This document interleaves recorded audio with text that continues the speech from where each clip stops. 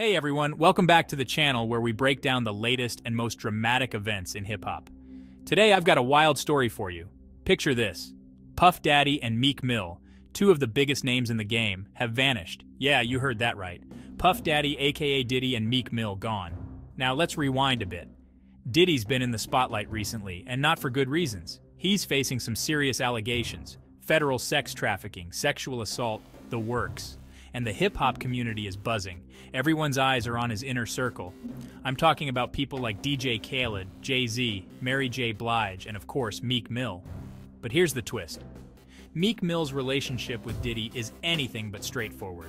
It's complex, it's layered, and it's got everyone questioning what's next. But instead of standing by or backing away, it looks like Meek and Diddy decided to pull a Bonnie and Clyde. That's right, rumors are swirling that they've run off together. And while the legal storm brews around Diddy, everyone's left wondering where his allies will stand. DJ Khaled's loyalty, Jay Z's role, Mary J. Blige's stance, it's all up in the air. But with Diddy and Meek off the grid, the hip hop world is left in suspense. What does this mean for Diddy's career, for Meek Mill's future? And speaking of Meek, let's not forget his ongoing feud with Kanye West. From the bizarre accusations involving Kim Kardashian to Kanye's controversial antics, their beef has been anything but subtle.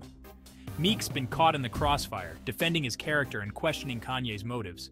But now, with Meek disappearing alongside Diddy, it adds another layer of mystery to this hip hop saga. So what's next? Will Diddy face his allegations head on? Will Meek Mill's loyalty to Diddy cost him?